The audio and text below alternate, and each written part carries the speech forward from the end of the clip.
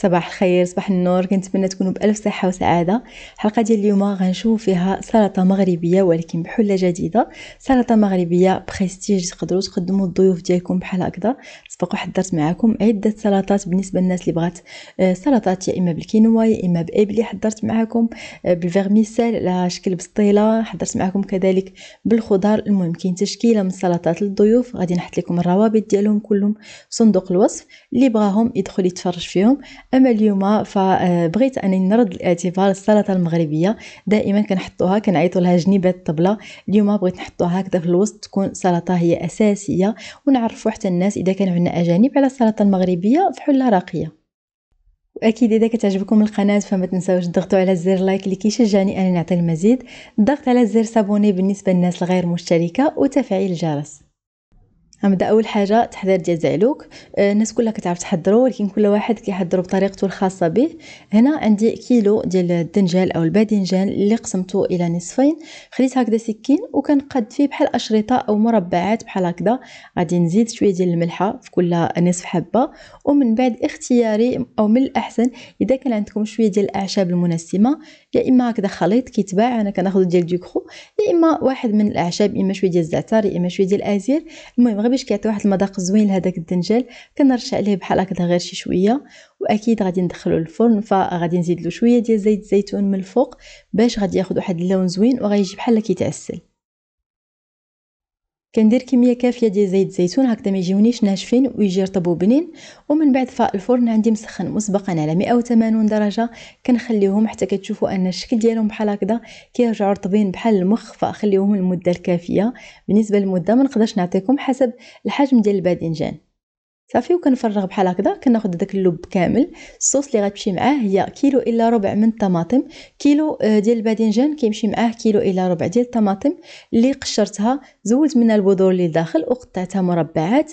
فصين كبار من الثوم يكونوا محكوكين. ملعقة كبيرة من مركز الطماطم ملعقة كبيرة من الخل أو من عصير الحامض ملعقة صغيرة من الفلفل الأحمر نصف ملعقة من الفلفل الحار نصف ملعقة من الكمون الملح حسب الذوق وشوية من الكزبرة الخضراء ومن البقدونس يكونوا مخلطين واحد ملعقة كبيرة ما بيناتهم بزوج.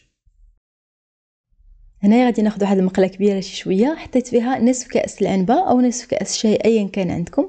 عمرته بزيت الزيتون حطيته بحال هكذا سخنات غير شي شوية هذيك الزيت ما تخليوهاش تعطي هذيك الريحة خايبة. المقلة هي اللي كنسخن في الأول ومن بعد كنضيف هذيك زيت الزيتون الطماطم والتوابل اللي سبق وذكرت معكم الملحة ملعقة صغيرة من الفلفل الأحمر الفلفل الحار الكمون نصف ملعقة والملحة أكيد حسب الذوق.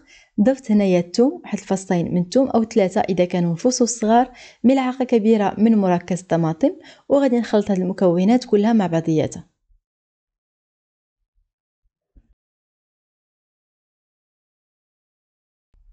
غير كتقلى عندي هنايا هذيك آه، مطيشة فكنزيد هنا واحد نصف كأس شاي نفس الحاجة من الماء هاد المرة باش نخلي مطيشة طيب وترطب ليا وتعطيني واحد الصوص اللي كتكون رطبة ومعلكه غادي نغطي ونمهل تكون النار هادئة جدا نخليها حتى كتنشف بحال هكذا ومن بعد كنحركها. إذا عندكم ال presse-purée أكيد من الأحسن أنكم تستعملوها. إذا ما كانش عندكم تقدروا تضربوا واحد تحطوها في شي إناء اللي يكون غارق تضربوا واحد ثلاثة ضربات ديال ال mixeur plongeant وكترجعوها عاوتاني غير كتشرب وكتعلك عاوتاني presse-purée من الأحسن أنكم تشريوه ديال البلاستيك آه، باش ما يجرحش لكم المقله إذا كانت عندكم نوعيتها جيدة. من بعد ما بريسيت هذيك الطماطم عاود شحرتها شي شوية حتى تقلات وغادي نضيف هنا هذاك الدنجال اللي سبق وحمرته في الفران. هنا راه كنزيد واحد الفص من الثوم إضافي يكون غير صغير كنزيدو هنايا ملي كنزيد الدنجال باش كينكه ليا هذاك الدنجال وكتبقى ديك النكهه واضحة. آه، من بعد ضفت معلقة كبيرة من القزبر ومعدنوس وكنبقى على نار اللي تكون عالية. كنحمر في هاد المكونات كاملين حتى كيتقلى ليا. هذاك الدنجال كامل ما كيجيش هذاك الزعلوك ميه كيجي معلك وكيجي بنين. من بعد أنا هنا زدت شوية ديال زيت الزيتون لأن احتاجيت شوية ديال الزيت باش كيتقلى ليا مزيان. صافي كتشوفوا أن المقله ما فيهاش أي سوائل نهائيا. وفي الأخير كنضيف معلقة كبيرة يا إما من الخل يا إما من عصير الحامض اللي بغيتو. كنخلط هكذا تخليطة أخيرة وصافي غنطفي عليه السلطة الثانية حتى هي من أشهر السلطات اللي هي التكتوكة أو شكشوكة في بعض الدول كيعيطوا لها المهم حضرت نفس آه، الطماطم أو صلصة الطماطم اللي حضرت بالنسبة للزعلوك إذا كنتو غتوجدوهم في نفس اليوم بزوجهم فكديروا كيلو ونص ديال الطماطم كتحضروا صلصة كبيرة وكتقسموها إلى اثنين. أنا هنا ما بغيتش نتلفكم. داكشي علاش؟ كل آه، وصفة مشيت مع المقادير ديالها. فهنا كذلك عندي كيلو إلا ربع ديال الطماطم اللي حضرتها بنفس الطريقة اللي حضرت بها الطماطم الأولى اللي آه، استعملنا في زعلوك فحضرتها بحال هكذا حطيتها. هنا عندي كيلو من الفلفل أخضر أحمر خلطت. أنا داكشي اللي لقيته خلطته. المهم كيكون عندي كيلو. بالنسبة لي أنا شويته فوق من فوق من الغاز أو فوق من البوطة. كيعجبني داك المذاق ديال آه، الدخان يكون فيهم. تقدروا تحطوهم غير هكذاك صحاح تدخلوهم الفرن على 180 درجة. وتخليوهم حتى كيطيبوا. إذا ما بغيتوش هذيك الريحة ديال الدخان. من بعد كتحطوها في كيس من البلاستيك وكنقشروها أو كنقيوها وكنقطعوها مربعات أو هكذا طويلة كيف ما عجبكم كتقطعوها حطيتها فوق صفاية باش يزول منها هذاك الماء اللي فيها كامل. ومن بعد فغادي نضيف معاها ثلاثة ديال الفصوصة ديال الثومه محكوكين معلقة كبيرة من البقدونس هنا ما كنستعملوش القزبور نهائيا معلقة آه، صغيرة مملوءة جيدا من الفلفل الأحمر نصف ملعقة من الحار نصف ملعقة من الفلفل الأسود الملح حسب الذوق ونصف كأس من زيت الزيتون وتكتوكة ما كنستعملوش فيها نهائيا الكمون. من بعد فهنا حطيت واحد المقلاة كبيرة شي شوية من الأحسن. أه تسخن من بعد ضفت لها واحد نص كاس ديال الزيت زيت الزيتون. وهنايا زدت هذاك الفلفل اللي قطعته أنا نوريكم هنايا راه تسقطر كيزول منه هذوك السوائل كاملين اللي فيه. غادي نزيد ثلاثة ديال الفصوص ديال الثوم ومن بعد الفلفل الأسود الحار الفلفل الأحمر والملحة غادي نضيفهم بحال هكذا. وغادي نخلط هاد المكونات كاملين. وغنخلي هذيك الفلفلة كتعسل وكتشرب هذوك النكهات كلهم. هاد الطريقة هذه غتعطيكم واحد التكتوكة اللي كتجي بنينة ماشي بحال إذا خلطنا الفلفله بحال هكذا مع مطيشة من الأول. فخليوها حتى كتعسل ما كيبقاش فيها أي سوائل. كتشوفوا غير هذيك الزيت اللي كتقلى فيها وعاد من بعد كتضيفوا هذيك صلصة الطماطم اللي حضرناها من قبل. وعاد غادي نخلط هاد المكونات كلهم مع بعضياتهم. في المرحلة هذه من الأحسن أننا نقصوا النار نخليو على نار هادئة باش تشرب هذيك صلصة الطماطم النكهات كاملين من الفلفلة. حتى كتشوفوا نفس الشيء أن هذيك الصوص ديالكم تاع اللكات صافي هنا بالنسبة ليها تعسلات مزيان كتشهي كيف ما كتشوفوا. غادي نضيف ليها معلقة كبيرة من البقدونس غادي نطفي. صافي البقدونس غنضيفو في الأخير. غادي نحرك تحريكة أخيرة. صافي وهي الصوص ديالي واجدة أو السلطة ديالي واجدة. دائما ملي كتضيفوا البقدونس في الأخير كيعطي واحد المذاق اللي كيكون فخي وكيكون زوين بزاف. غادي نخليها تبرد على جانبا مع السلطة الأخرى وغادي ندوزو لتحضير السلطة الثالثة. السلطة الثالثة هي القرعة الحمراء معسله وخليكم معايا حتى الناس اللي ما كتعجبهمش غادي نعطيكم طريقة اللي كتجي بنينة بزاف. أنا استعملت هذه القرعة هذه تقدروا تستعملوا أي وحدة كتفضلوها أو المتوفره عندكم أنا هذه كنحماق عليها فهي اللي استعملتها. زولت منها آه، الفوق أنا كان فيها كيلو ونص تقريبا. فزولت الفوق وعبرت لقيت كيلو هنا استعملت غير كيلو.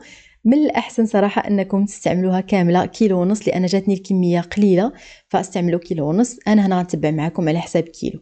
قطعتها بحال هكذا إلى نصفين. أنا كنوريكم راها شوية كتجي صعيبة في التقطاع ولكن راها من بعد صافي كتسهل معكم ملي كتقطعوها على اربعه من الاحسن أنكم تاخذوا أكيد وحدة كبيرة على أنكم تاخذوا زوج صغار لأن هذيك la partie اللي كتكون الفوق غليظة هي اللي كيكون فيها أكثر نسبة ديال اللحم اللي كتكون عامرة أما لتحت فكيكون خاوي كيف ما كتشوفوا. خديت سكين آخر اللي كيكون رقيق وكنزول بحال هكذا ما تحاولوش تقشروا بحال اللي كنقشروا بطاطا لأن غتجرحوا يديكم كتكون قاصحة شي شوية. ومن بعد هنا كنقطع نصف سنتيمتر تقريبا نحاولوا أنهم يكونوا قد بعضياتهم باش ياخذوا نفس التسوية. واكيد راه نفس الطريقة إذا استعملتوا القرعة الحمراء العادية اللي كنستعملوا في كسكسو حتى هي. حتى هذه كنستعملها في كسكسو كتجي بنينة بزاف. آه، ضفت هنايا الملحة ضروري من الملحة باش تجيكم آه، زوينة. وضفت كذلك ملعقة كبيرة يكونوا مملوئين جيدا من الزبدة. الزبدة هي اللي كتعطيها مذاق زوين فجوج معالق يكونوا عامرين. عاد ذوبتهم من بعد صافي خلطت المكونات كلهم مع بعضياتهم باش كتلبس هذيك القرعة الحمراء ماشي الخضراء. كتلبس كلها بهذيك الزبدة والملحة. هنا خديت آه، زوج ديال الطراف ديال بابي ألومنيوم وضفت كذلك ورق الخبز من من الوسط غير ورقة وحدة.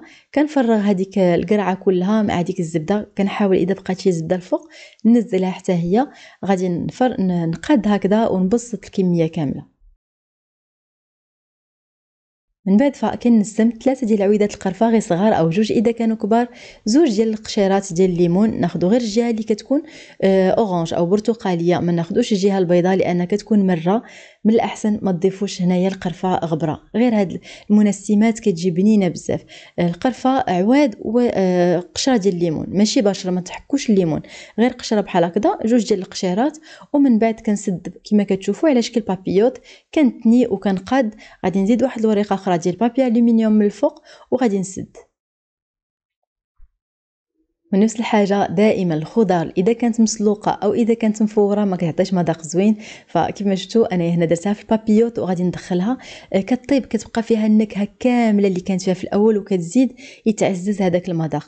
أنا خدت مني نصف ساعة آه، بالضبط على 200 درجة. كان الفرن مسخن مسبقا بعشرة دقائق على 200 درجة خدات نصف ساعة لا أكثر وإلا غتحرق. فما تحاولوش أنكم تضيفوا في هذه المرحلة الأولى السكر أو العسل لأن غتحرق لكم شفت على أنها رطبة كان معسها بحال هكذا عادي ما فيهاش أي سوائل معسلة في هذيك الزبدة ديالها. صافي غادي نسخن واحد المقلة وغادي نضيف لها واحد ثلاثة المعالق كبار هذه المرة ديال الزيت وغادي ننزل هذيك القرعة كاملة. من بعد ما زولت منها القرفة والقشور ديال الليمون. هنا ضروري كنبقى واقفة عليها ما نخليهاش نهائيا إذا تحرقات كيولي فيها واحد المذاق خايب بزاف. فنبقى واقفه عليها. النار تكون عالية شي شوية وكنبقى كنزول من هذوك السوائل اللي كانوا بقاو فيها. راكم شفتوا في الأول كانت غير بديك الزبدة ولكن ملي كتبداو آه، كتهرسوها بحال هكذا كينزلوا واحد السوائل اللي كانوا باقيين. غادي نضيف بالنسبة للكيلو ملعقه كبيره من العسل. تقدروا تضيفوا ملعقه كبيره من السكر. نفس آه، الحاجة غير بالنسبة للناس اللي بغات شي حاجة صحية. فالعسل كيبقى أحسن. العسل يكون النكهه ديالو خفيفه بحال عسل البرتقال آه، l'eucalyptus أو عسل الأزهار ما يكونش عسل النكهه ديالو قويه ما غاديش يجي زوين. صافي هنا غادي نكمل بال presse-purée باش يعطينا واحد النتيجة اللي تكون أحسن. تقدروا تستعملوا آه، فرشيطه أو الشوكة غير البال إذا كانت عندكم casserole أو مقلة اللي زوينة فخذوا هذا الخليط حطوه في شي طبسيل ومعسوه بالفرشيطه عاد رجعوه مرة أخرى هكذا ما تجرحوش المقلة ديالكم. آه صافي هنايا راه ولات عندي بحال هكذا كيف ما كتشوفوا الشكل ديالها. ما تبالغوش خليوها غير هكذا. غادي نخليها فوق النار اللي تكون متوسطة أو عالية حتى تشوفوا أنها نشفات. من بعد ما كتنشف فكنضيف هنا ملعقة كبيرة من ماء الزهر. راه حطيت لكم حلقة كيفاش تختاروا ماء الزهر اللي كيمشي مع الماكلة وكيجي بنين باش ما تقولوش لي ما كيعجبناش ماء الزهر. وهنا غادي نضيف ملعقه كبيره من الحامض. ضروري من هذا الحامض هو اللي كيعطي المذاق وكتجي بنينه ما كتجيش باسلة. ثاني حاجة اللي أنا كنذوقها عند بزاف ديال الناس وكتجيني هاد آه، أو القرعة معسله كتجيني باسلة. أنكم تبقاو من بعد ما تشرب تبقاو كتعسلوها. فوق من البوطة مع ديك الزبدة ديالها حتى كتعسل جيدا. هنا خليتهم أنا حضرتهم ليلة من قبل باش جاني كلشي ساهل حطيتهم في طبيصلات بحال هكذا لفيتهم جيدا بالفيلم أليمونتير واليوم أو نهار ديال التقديم عاد جبتهم جاوني ساهلين. ماشي نهار ديال الضيافه اللي غادي نجلس نصايب فيه كلشي غيجيني صعيب فكلشي حضرته من قبل. وهذا هو اللي زوين في السلطة هذه أنكم كلشي كتوجدوه ليلة من قبل وصافي نهار آه، نهار اللي كيجيو الضياف كيكون عندي غير التقديم. خديت أنا هاد الزليفات هادو استعملتهم جاو زوينين في المنظر ديالهم تقدروا تستعملوا أي زليفات عندكم.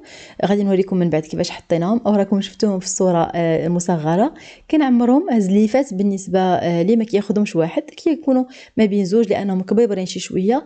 وحنا هذاك الشيء اللي بقى لينا راه غادي نحطوه في في زوج ديال لي بول آه، متوسطين غنحطهم في الطبلة حتى هما باش اللي بغى يزيد يقدر يزيد منهم. هاد لاصالاد هادي راه كتجي كبيرة كنقدموها بالنسبة إذا جاو عندنا 12 شخص كتكون كافية طبله كبيرة. أه تقدروا تقدموا معاهم مخيمرات بلديين حتى هما كيجيو زوينين ضيفوا لهم شوية ديال النافع باش تكمل هذيك الجليسة المغربية. صافي من بعد ما عمرتهم غادي ندوز هنا القرعه المعسلة. شوفوا راني بقيت واقفة عليها كيفاش ولات بحال المسكة. شوفوا كي كتولي معلكة باش تجيكم بنينه ومحمضة ومنكهة. ندمت صراحة اللي ما اللي ما صايبتش كيلو ونص صايبت غير كيلو واحد لأن كلشي دابز عليها. آه إذا استعملتو كيلو ونص أكيد راه غتزيدو السكر وغتزيدو في الحامض. آه ثلاثة المعالق كبار غيكونوا إذا ديال العسل أو السكر. ثلاثة المعالق ديال الحامض ومعلقة ونص ديال ماء الزهر. آه غادي تزيدوا أكيد شوية ديال الزبدة وشوية ديال الزيت المهم نتوما راكم عارفين عينكم ميزانكم كطيبوا كتذوقوا وكتشوفوا آه هنايا صافي حتى حتى هي جاوني هنا غير أربعة ما جاونيش خمسة. آه إذا عمرت خمسة غيجيو صغيورين وما غيجيش الشكل ديالهم متناسق فعمرت غير اربعه بحال هكذا. ومن بعد آه، تزين أنا غادي نزين بشوية. يا إما إذا عندكم القرقاع حتى هو كيجي زوين أصلا هاد القرعة هادي مكتوب عليها آه، قرع جوزي حيت فيه واحد المذاق خفيف ديال ديال من المكسرات اللي هو الباترنات آه، على ما أعتقد بلونغلي هي هذيك حيت فيه واحد المذاق حتى ديال الزبدة. فإذا لقيتوا هاد القرعة هادي استعملوها كتجي بنينه بزاف. فرغتهم صافي قاديت شي شوية على شكل عشوائي. ما تحاولوش أنكم تبسطوهم وتقادوهم مزيان غير بحال هكذا بمعلقه صغيرة. وكنضيف هذاك اللوز اللي حمرته شي شوية في الفران 120 درجة تقريبا لأن اللوز effilé كيكون حساس. نخليوه غير شي شوية كنحركوه في نص المدة ونخليوه ياخذ غير لون ذهبي فاتح وزينت به بحال هكذا غير من الوسط. خليت هذوك الجناب بغيتهم يبقاو بان هذاك اللون البرتقالي بغيتو يجي باين في التبصيل. زعلوك حتى هو نفس الحاجة حطيته بحال هكذا في هاد الزليفات صغيورين. ما تبقى غادي نحطو في شي bol ونحطو في جناب ديال الطبلة.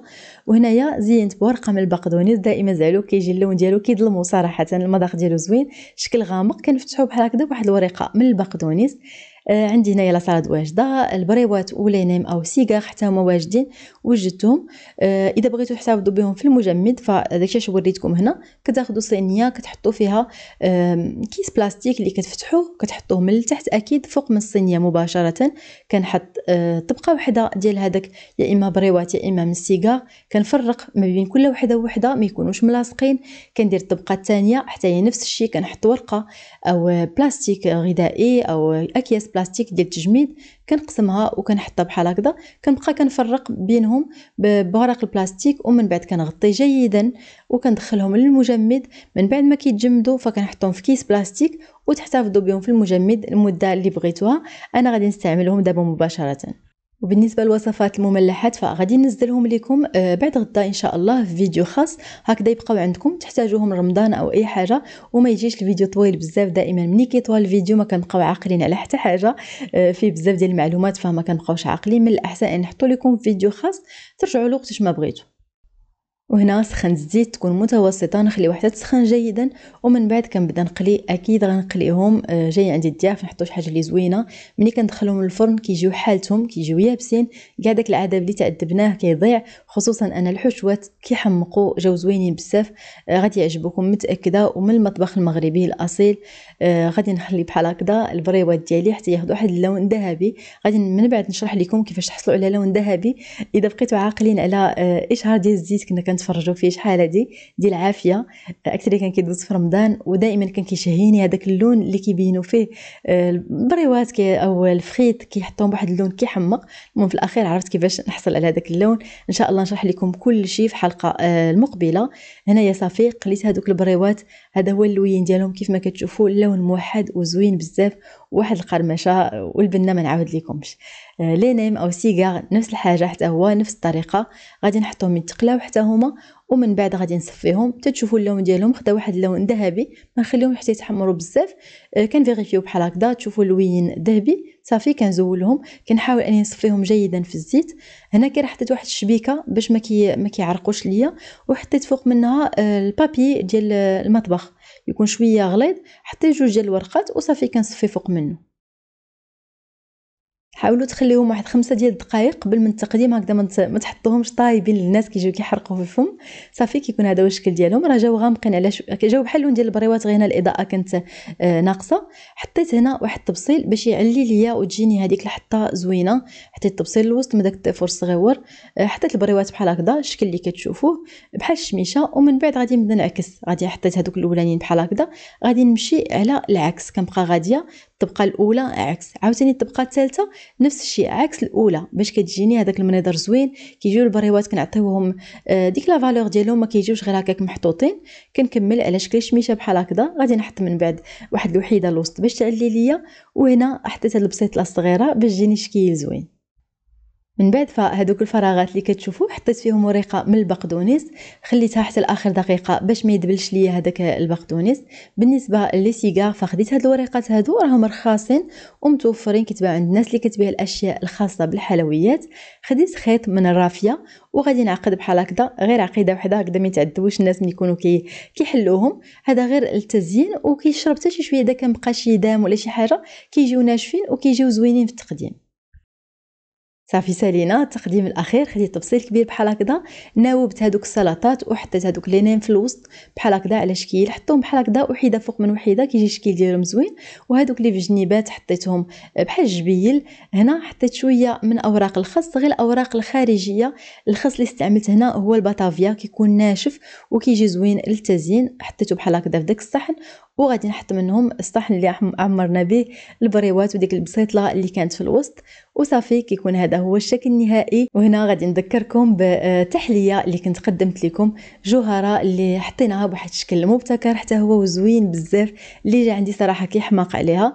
أنا اغتنمت الفرصة بما اننا قدمنا اليوم سلطة مغربية مبتكرة. فحطيت لكم حتى هذه فكرتكم بها بسطيلة ديال جوهرة بطريقة مبتكرة. كتجي بحال هكذا كل واحد كياخذ وحيدة ديالو وأكيد كتجي زوينة بزاف لا في الشكل لا في المذاق وكتكون هذه نهاية الحلقة. كنتمنى أنها تكون عجبتكم إلى الحلقة المقبلة إن شاء الله.